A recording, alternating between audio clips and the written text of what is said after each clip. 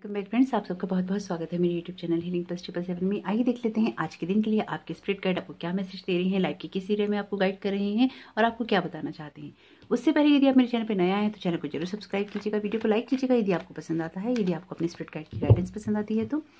अगर आप मुझसे पर्सनल रीडिंग करवाना चाहते हैं तो उसके डिस्क्रिप्शन बॉक्स में दे रखा है लिंक आप उसको बढ़ सकते हैं, आपसे आपकी ईमेल पे कांटेक्ट कर लिया जाएगा। आप चाहें तो मुझे इंस्टाग्राम पर भी डायरेक्ट मैसेज कर सकते हैं रीडिंग के लिए इंस्टाग्राम का लिंक भी दे रखा है डिस्क्रिप्शन बॉक्स में। और अगर आपने अभी तक चैनल को सब्सक्राइब नहीं किया और आप मेरे वीडियोस देखते हैं तो प्लीज़ चैनल को सब्सक्राइब कर लीजिए, क्योंकि ऐसे वीडियोस तो डेली आते ही रहते हैं। तो आइए देख लेते हैं आपके स्प्रिट गाइड आपको क्या मैसेज दे रही हैं और लाइफ के किस एरिया में आपको गाइड करना चाहते हैं। द चैरियट का कार्ड है पहला तो यहाँ पे आपके स्प्रिट गाइड आपको क्या बताना चाहते हैं। तो जो लोग इस रीडिंग से जुड़े हुए हैं, उनको पता रहेगा कि, पता होगा ही कि वीडियो में थोड़ा सा पॉज रहता है, क्योंकि कार्ड के साथ साथ चैनल मैसेजेस भी होते हैं। तो थोड़ा सा उस चीज़ का कॉपरेट कीजिएगा। तो द चैरियट का कार्ड ये बता रहा है, कहीं ना कहीं आप ना लाइफ की चीज़ों को बैलेंस करने की कोशिश कर रहे हैं। ये लाइफ में जो भी आपका टाइम पीरियड चल रहा है, इसमें आप कुछ बैलेंस बनाने की कोशिश कर रहे हैं, कुछ बैलेंस ढूंढ रहे हैं। अपनी कोई लड़ाई जीतना चाहते हैं, अपनी कोई जंग जीतना चाहते हैं, किन्हीं चीज़ों को लेके आप आगे बढ़ना चाहते हैं। सोच रहे हैं कि किस तरह से आप कौन सी चीज़ें कर पाएँगे, कौन सी नहीं। इस वक्त आपके स्प्रिट कार्ड आपको यहाँ पे बहुत स्ट्रांगली ये बताना चाहते हैं कि लाइफ में आप जो भी लड़ाइयाँ लड़ रहे हैं, जो भी परेशानियाँ झेल रहे हैं, उनमें आपको सपोर्ट किया जा रहा है। कहीं ना कहीं आपको गाइड किया जाता है, आपको बताया जाता है कि आपको क्या करना चाहिए, किस तरह से करना चाहिए और आप क्या क्या कर सकते हैं। हो सकता है कभी कभी आप अपनी नेगेटिविटी के कारण या आप निगेटिव थाट्स के इतने ज़्यादा हावी हो जाने के कारण उन बातों को समझ नहीं पाते हो, उन चीज़ों में उन चीज़ों को देख नहीं पाते हूँ, उस ब्राइट लाइट को नहीं देख पाते हूँ, जो कि आप तक भेजी जा रही है या आपको वो रास्ता दिखाया जा रहा है जो अंधकार से भरा हुआ है। इस तरह का मैसेज आ रहा है आपके स्पिरिट गाइड का।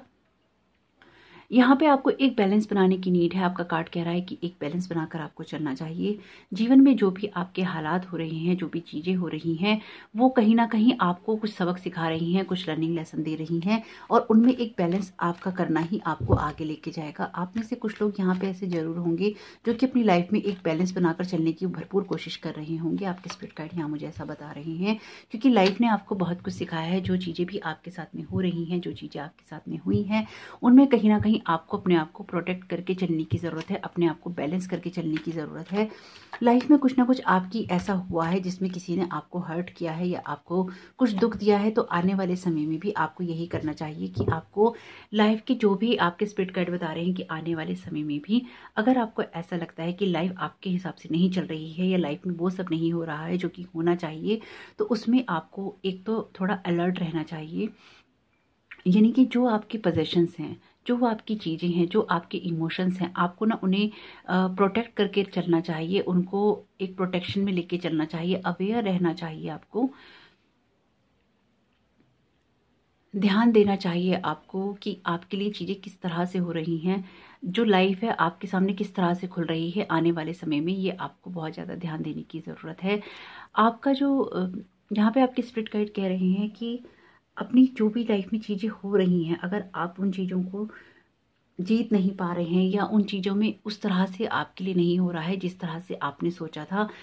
तो आप इस चीज़ों से अगर निकलना चाहते हैं तो आपको लाइफ की ब्राइट साइड पर ही फोकस करना होगा। यानी कि जीवन में जो आपके पास है, आपको उसी पर फोकस करना होगा, तभी आपको जो हेल्प मिल रही है, जो रास्ता दिखाया जा रहा है, आप उसको देख सकते हैं, उस पर चल सकते हैं, उनको अपना सकते हैं और वो चीज़ें कर सकते हैं जो कि आपके लिए बहुत ज़्यादा ज़रूरी हैं।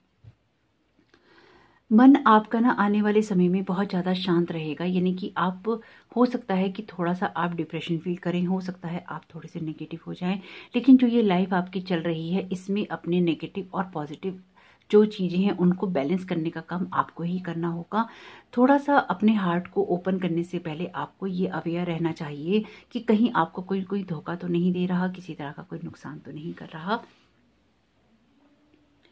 आपकी जो भी स्पिरिचुअल अवेकनिंग्स हैं, यहाँ पे आपके स्पिरिट गाइड मुझे बता रहे हैं, जो भी आपकी स्पिरिचुअल अवेकनिंग है, वो इन्हीं रास्तों से हो रही है। यानी कि अगर कुछ चीज़ें ऐसी हैं जो लाइफ में आपको दुख दे रही हैं या आपको तकलीफ़ दे रही हैं तो वो आपको ये बताने के लिए ही है। यानी कि जैसे कि सोल की कुछ जर्नी होती है, उस जर्नी में आपको अलग अलग एक्सपीरियंस लेने होते हैं, आपके कुछ सबक सीखने होते हैं, आपको कुछ अनुभव लेने होते हैं, ताकि आपकी जो जर्नी है आगे बढ़ सके। सोल को, हर सोल को हर तरह का एक्सपीरियंस लेना ही होता है। तो हर इंसान की जो सोल होती है, वो अपनी अलग अलग जर्नी के एक पार्ट पर होती है। यानी कि आप अगर, मान लीजिए आपने एक माला चढ़ना है, एक बिल्डिंग को आपने कवर करना है तो आप सौ माले की वो बिल्डिंग है तो आप कहीं में आप एक लेवल पे हो सकते हैं, कोई दूसरा इंसान दूसरे लेवल पे हो सकता है, कोई सेवेंटी एट लेवल पे हो सकता है, कोई एट्टी लेवल पे हो सकता है तो हर इंसान का अपना एक अलग अलग लेवल है, जो कि अपनी परिस्थितियाँ, अपने हालात, अपनी चीज़ें देखते हुए उन चीज़ों उन चीज़ों तक पहुँचने की कोशिश कर रही हैं। यानी कि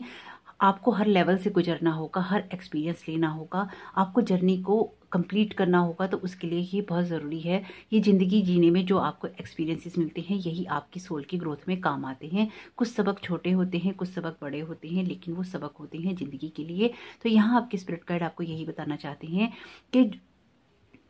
जो कुछ भी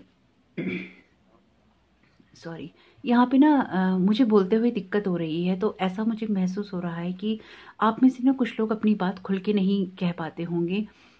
अपनी बात कहने के लिए आपको शब्द नहीं मिलते होंगे। दिमाग में आपके बहुत कुछ चलता होगा क्योंकि इस वक्त मेरे पास माइंड में बहुत सारे थॉट्स चल रहे हैं, लेकिन मैं आप तक कन्वे करने में मुझे दिक्कत हो रही है। तो ज़रूर आप लोगों की एनर्जी से मैं कनेक्ट हो रही हूँ तो डेफिनेटली आप में से कुछ लोग ऐसे होंगे जो खुल के अपनी बात नहीं कह पाते होंगे, अपनी चीज़ें, अपना दिल नहीं खोल पाते होंगे, अपने दिल के हालातों को नहीं बता पाते होंगे, अपने अंदर ही अंदर उन उन चीज़ों का घूंट पी लेते होंगे, अपने,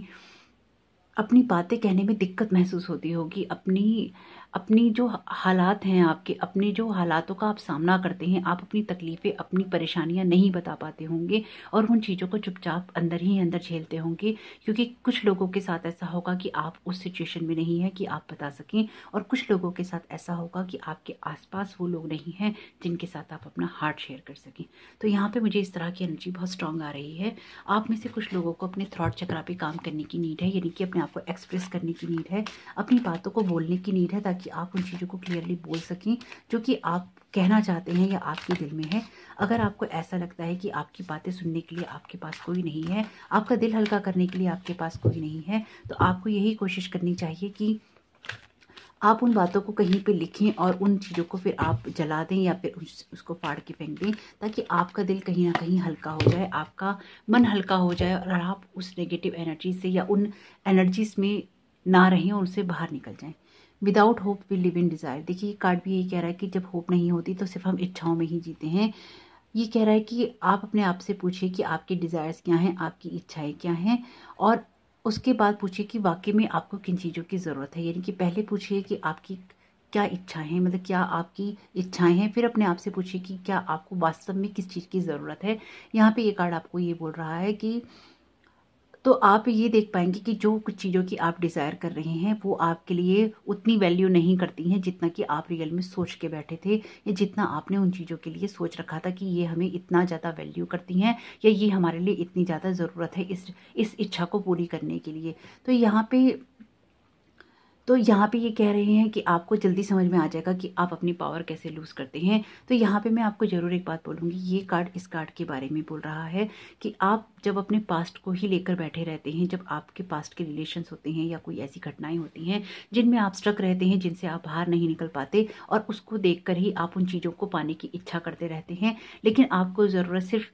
कुछ चीज़ों की होती है या कुछ कम चीज़ों की होती है, लेकिन इच्छाएँ इतनी बड़ी होती हैं कि अगर वो हमें नहीं मिलती तो हम उन ना पूरी होने वाली इच्छाओं की तरफ़ ही फोकस रखते हैं और जो हमारे पास में, हमारी ज़रूरत को पूरा करने के लिए हम उसकी तरफ़ नहीं देखते। यही इंसान की जीवन में सबसे बड़ा कारण है जो वो अपने आप को खुश नहीं महसूस कर पाता, वो ये महसूस करता है कि वो अब हार गया। तो अगर आने वाले समय में आपके साथ कुछ ऐसा होता है कि आप अपने आप को हारा हुआ महसूस करते हैं, अपने आप को परेशान महसूस करते हैं तो आपके स्प्रिट गाइड आपको यहाँ पे यही कहना चाहते हैं कि अपनी पावर को लूज़ नहीं कीजिए, अपनी इच्छाओं पर कंट्रोल कीजिए, अटैचमेंट से थोड़ा सा दूर रहिए, ताकि वो चीज़ें आपको हार्म ना कर पाएँ और आप अपनी लाइफ की जर्नी में एक स्मूथली उस जर्नी को कर सकें, ना कि उसमें रोड़े अटके।